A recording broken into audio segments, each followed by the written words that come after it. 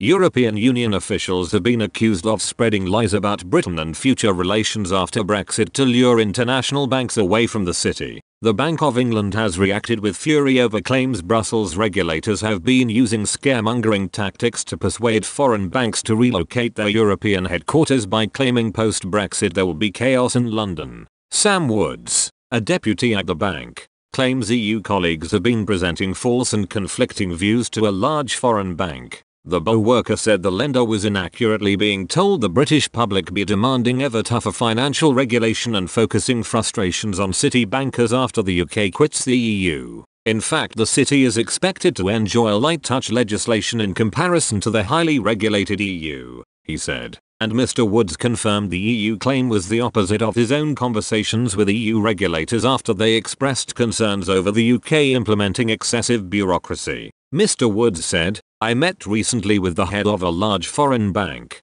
who was in London following a visit to the continent. He had been advised by some of our EU colleagues that with the departure of the UK from the EU, the British public would become alarmed at the size of the financial sector relative to the size of the economy and would therefore demand ever tougher financial regulation in order to assuage their sense of unease. Thus it was put to him that it would be sensible for him to move more of his operations to Paris Frankfurt or Dublin, where things would be easier. Mr. Woods made the shocking claims during a speech at the UBS Financial Institutions Conference in Switzerland, where he dismissed suggestions of a post-Brexit backlash against banks. He continued, I told him that I thought it somewhat unlikely that the public would take much interest in the size of the financial sector unless it blew up again and that 10 years on from the financial crisis we have largely implemented the reforms and are moving into more of a business as usual phase. However, Britain could change its style of regulating to respond faster to change, he said.